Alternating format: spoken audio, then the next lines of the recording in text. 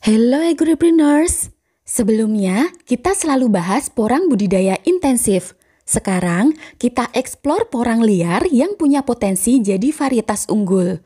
Tapi sebelumnya, buat kamu yang belum subscribe, monggo subscribe dulu dan aktifkan loncengnya, biar kamu dapat pemberitahuan video terbaru dari kami. Sementara ini, mungkin agripreneurs kesulitan dapat benih atau bibit porang untuk penanaman. Terlebih, benih yang kualitasnya terjamin, bersertifikat, dan juga berlabel. Benih sumbernya masih sangat terbatas, dan tentunya nggak seimbang dengan kebutuhan penanaman petani. Apalagi banyak petani baru yang terus bertambah untuk menanam porang. Varietas unggul yang sudah diakui keunggulannya dan boleh beredar masih sangat sedikit. Kondisi ini justru bisa jadi peluang besar buat agripreneurs untuk mulai jadi produsen benih porang unggul. Pertama, kamu bisa menangkarkan dari benih sumber yang sudah ada, seperti varietas Madiun 1 atau kalau sulit dapatnya, kamu eksplor porang-porang lokal yang mungkin ada di sekitarmu. Mungkin sebenarnya banyak porang lokal tumbuh liar di sekitar kebun atau hutan, cuma aja kita yang nggak pernah menyadarinya.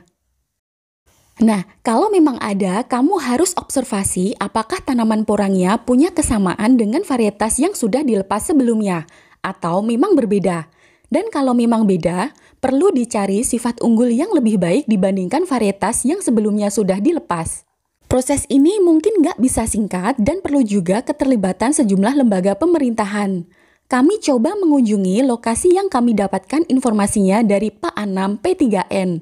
Salah satu lokasi porang lokal ini berada di Kepanewonan Purwosari Gunung Kidul. Pak Sujianto, Petani porang dari desa Gericahyo ini sebelumnya nggak menyadari bahwa tanaman yang tumbuh liar di lahannya adalah porang yang memiliki nilai ekonomi tinggi. Hingga sekarang mulai memelihara porang liar dan menanam di petak lahan yang lain. Dan dipelihara lebih intensif. Budidaya yang dilakukan dua tahun terakhir ini menggunakan benih katak, umbi, dan sebagian dari biji.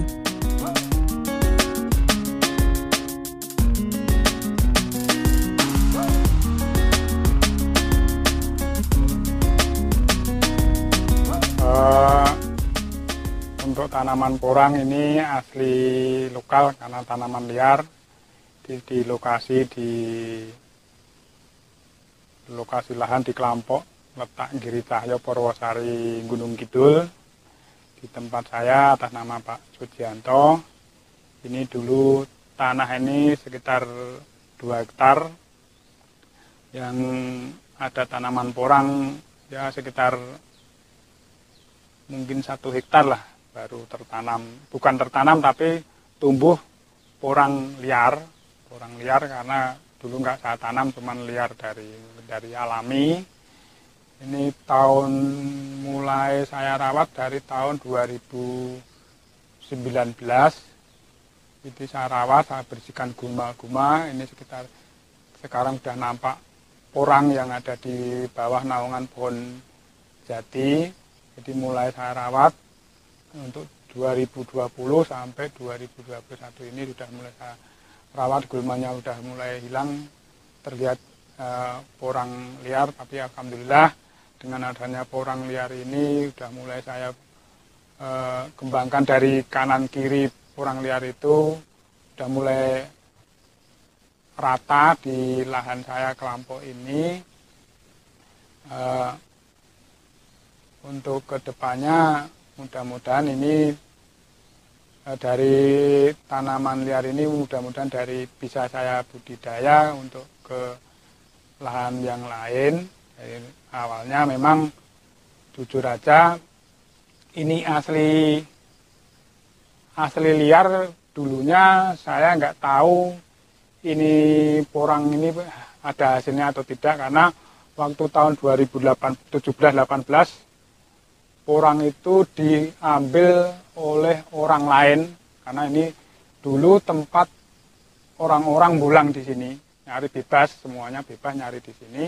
Waktu itu saya kira cuman ya tanaman nggak berguna bagi kita tanaman yang merusak tanaman lain. Saya kira begitu saya akhirnya waktu tahun 2018 itu saya biarkan orang mencari. Tapi setelah 2019 eh, pertengahan saya tahu itu dari buka di YouTube juga ada teman yang ngasih tahu kalau itu tanaman eh, ada hasilnya sehingga orang-orang yang bulang di lahan saya itu saya stop saya berhentikan saya larang nggak boleh mengambil satupun kurang tanpa izin saya sehingga tahun 2019-20 udah nggak ada lagi orang ngambil di sini udah budidaya saya sendiri saya rawat saya perhatikan terus kalau pemupukan karena ini tanaman liar sama sekali belum tersentuh oleh pupuk.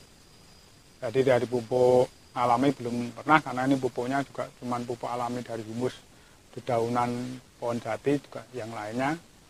Untuk pupuk-pupukan nanti mungkin eh, kalau sudah bulan Februari ini sebetulnya pemupukan semprot tetapi saya belum bisa mupuk. Ya dengan adanya tanaman liar ini bagi saya sendiri sangat membantu.